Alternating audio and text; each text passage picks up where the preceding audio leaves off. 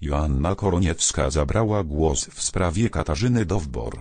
Słowa o wieku prowadzącej pytanie na śniadanie zaskakują. Joanna Koroniewska w najnowszej rozmowie z Pomponikiem wypowiedziała się na temat wychowywania pociech, pokolenia influencerów oraz kariery teściowej. Czy Joanna widziałaby Katarzynę Dowbor w roli babci na cały etat, niekoniecznie jako gwiazdę pytania na śniadanie? Oto odpowiedź. Joanna Koroniewska podsumowała karierę Katarzyny Dowbor. Joanna Koroniewska w rozmowie z Pomponikiem odniosła się do zmian, które budzą wiele emocji, czyli wymiana składu w pytaniu na śniadanie.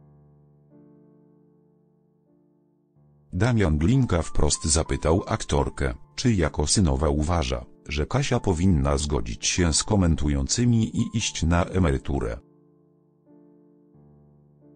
Jako synowa i dojrzała kobieta, która występuje w filmach. Uważam, że w każdym wieku każdy ma prawo uprawiać zawód, który kocha. Kropka jest niewiele programów, w których dojrzałe kobiety są. To była fantastyczna decyzja z jej strony.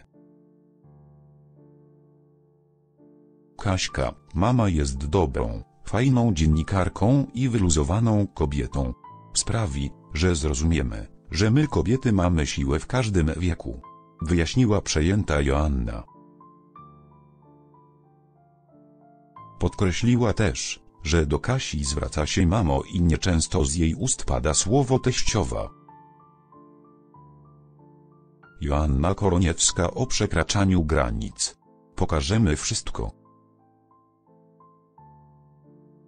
Joanna Koroniewska w wywiadzie na dłużej zatrzymała się przy temacie sieci. Jak podkreśliła, jest to trudne zagadnienie, bo influencerzy przekraczają dziś wiele granic. Niedługo pokażemy jako ludzie wszystko. To nie jest prosta droga. To się dzieje cały czas, opowiadała przejęta aktorka. Następnie padła prośba o wyjaśnienie, jak chronić dzieci przed konsekwencjami życia na świeczniku. Jej reakcja okazała się nieco zaskakująca. Joanna Koroniewska o relacji z dziećmi. To uznała za najważniejsze.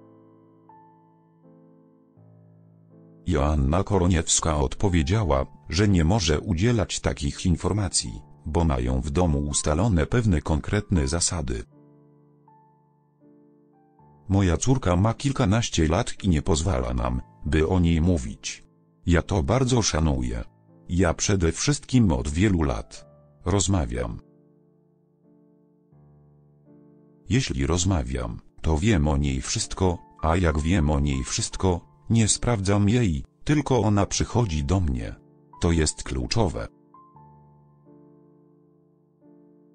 Jeśli my rodzice nie mamy czasu dla dzieci, gdy dorastają, to nie dziwmy się, że potem one tego czasu nie chcą nam poświęcać. Jak podkreśliła Joanna, najważniejsze jest przyznawać się do błędów. Jeśli dziecko jest w stanie przyjść z problemem i wyznać, że doszło do wpadki lub nieprzemyślanej decyzji, to relacja będzie opierać się na trwałych fundamentach. Koroniewska wyraziła nawet opinię o braku prac domowych. Zmiana, która dziś uznawana jest za mocno kontrowersyjną, postrzegana jest przez nią wyjątkowo pozytywnie.